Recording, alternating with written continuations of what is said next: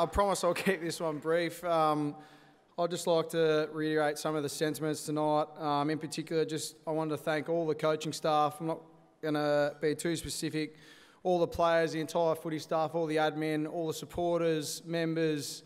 Um, you know, we um, we don't we don't get a team out every week without some of the tireless work and effort. And I think we've taken some significant steps forward this year, as a lot of people have acknowledged tonight. But um, as you can probably feel, you know, the undertone to the entire night is the direction we're heading, and, and for us to become a finals footy team, which, you know, I, uh, as Jack Viney said earlier, I couldn't be more excited about the direction this footy club is heading in. And I know we've got a young group of players that are coming through and some senior players that are really driven to make sure we lead these guys into you know the next era of this footy club where you know not only do we reach the pinnacle but we, we create some sustained success and a sustained culture where we become successful for a long period of time.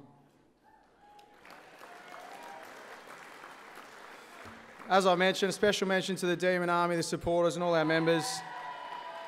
Well, I just hope now you guys, after particularly being here tonight and seeing, you know, some of the results during the year, as Roosy mentioned, it was too inconsistent for our liking, but hopefully those highs have given you some hope and belief in terms of where we're heading as a footy club.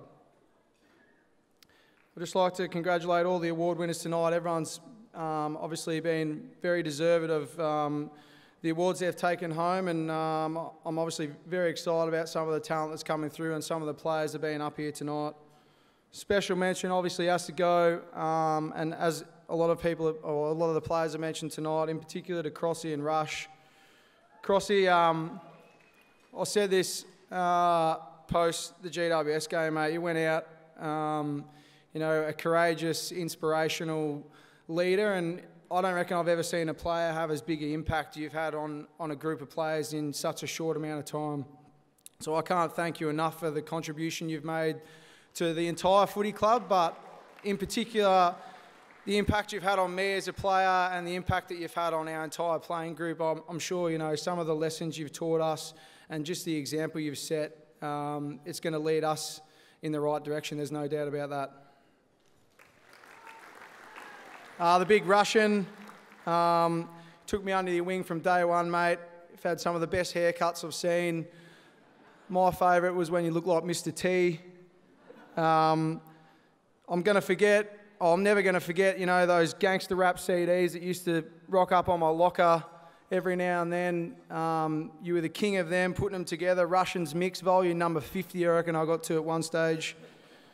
Um, but as a lot of players have said, mate, and a lot of people that have come to meet you, one of the, one of the great blokes of the game, um, 14 years at the club, mate.